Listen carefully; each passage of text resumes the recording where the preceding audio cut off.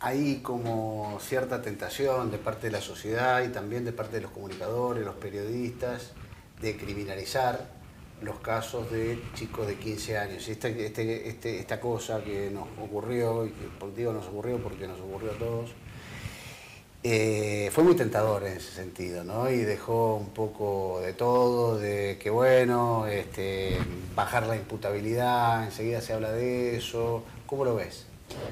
Yo creo que se viene hablando hace ya un tiempo, desde que asumió, bueno, el señor presidente Milei, y por un proyecto presentado por el doctor Cunio Libarona de bajar la edad eh, a 14 años de imputabilidad.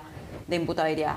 Eh, yo entiendo que no es la solución la baja de la edad, porque ¿qué sucede? Que en vez de mandar a que delinca un chico, llegado el caso, la bajamos a 14, hoy eh, a partir de recién de los 16 mm. hasta los 18 se les aplica el, régimen penal juvenil. Es decir, que en este caso concreto, este menor de 15 años es totalmente inimputable para el derecho penal argentino. Él, su condición frente a la ley hoy es de imputabilidad total. Más allá de la patología, de lo que se discuta, eh, de su salud mental, es inimputable. No puede ser llevado ante los tribunales, ni mm. se le puede aplicar una sentencia condenatoria.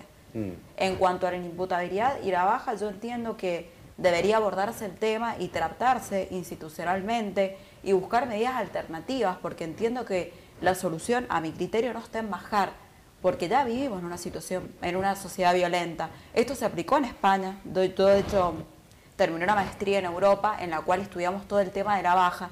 Y en Europa se, bajó la aplicó, se bajó a 14 en España y no hubo resultados. La tasa delictiva no se redució. Resultados serían que, no haya delitos de esa franja de la población. La franja etaria eh, sigue siendo Mm. Estamos hablando de menores de edad. Y otro, otra cuestión que hay que tener en cuenta es que Argentina está adherida a la Convención de Derechos del Niño y eso requeriría un trabajo muy arduo, mm. porque es una convención que tiene rango y jerarquía constitucional. no se puede bajar tan fácilmente. O sea que la edad, si es por la edad, no es una solución.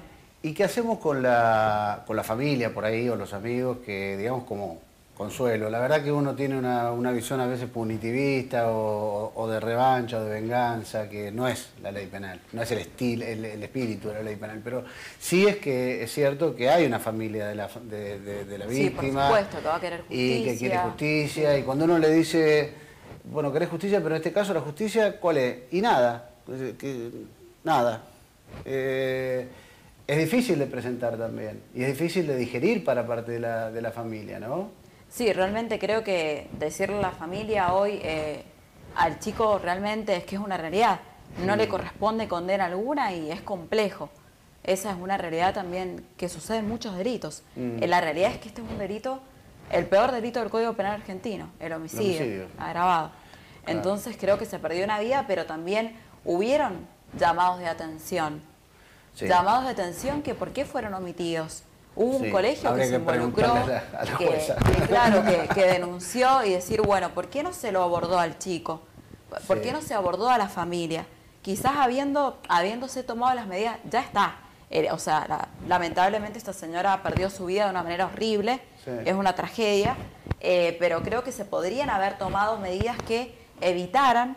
Siempre yo digo, cuando el hecho está, está, no se puede volver atrás, pero sí como empezar a tomar conciencia como sociedad y advertir, como bien lo dice la doctora, eh, también la, licenciada, en cuanto a los distintos indicadores que los chicos hoy, y sobre todo con las tecnologías, los chicos están expuestos a un, nivel de violencia en redes sociales, que es terrible.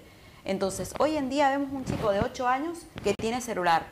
Entonces, hoy eso aumenta la violencia. De hecho, em, presuntamente el chico consumía juegos eh, y todo eso aumenta la violencia. Entonces decir, bueno, ¿cómo abordamos este tema? Yo le pido un